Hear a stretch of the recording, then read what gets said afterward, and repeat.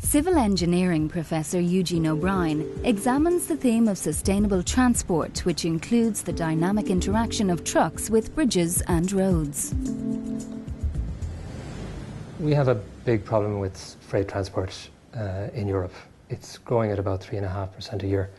It doesn't sound like much, but that actually accumulates quite a bit over time.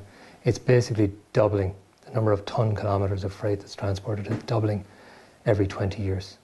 So you can imagine what you'll have in 20 years' time. You'll either have twice as many trucks, or you'll have twice as many roads, or you'll have twice as big of trucks.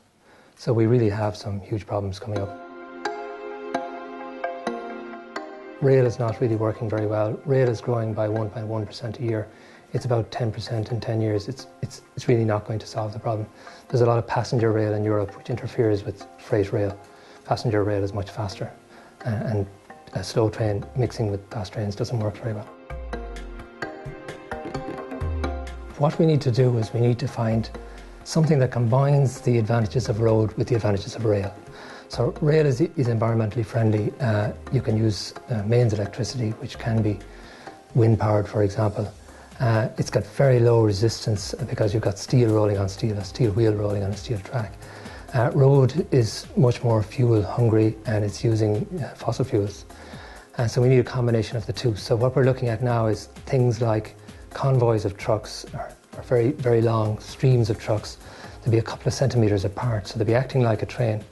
So these convoys could be very fuel efficient. They could even use mains electricity if mains electricity was provided overhead. And we're working on very low rolling resistance, uh, so you'd have very hard tyres and very hard roads, so you'd have a very smooth ride. We're looking at bridges and seeing that what's the worst combination of trucks that might be on them. Uh, we have, we're involved in several European projects, one looking at convoys. Professor O'Brien and his team have also shown the benefits of sustainable infrastructure. We've discovered that bridges are a lot stronger than we thought they were. They're able to carry a lot more load than we thought they could carry. So if we can understand better how safe they are, if we can calculate better how safe they are, then we can push, go a little bit closer to the edge without risking safety. So we can get more life out of them. We can, we can prove that they can last another 10 years before they need to be replaced. And that's getting more for less. That's saving the environment because we're using less non-renewable resources and we're saving money at the same time. And we're working on new innovative solutions to transport that combine the advantages of road and rail.